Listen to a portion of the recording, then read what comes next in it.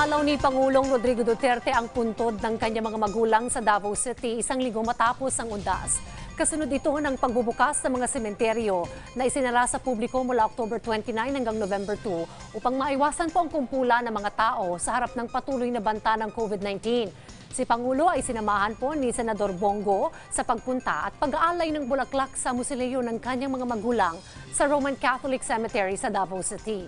Ang ama ni Pangulong Duterte na si Vicente Duterte, ang dating gobernador ng Davao Province, habang ang ina nito na si Soledad ay isa sa kinikilala at iginagalang na civic leader ng lalawigan.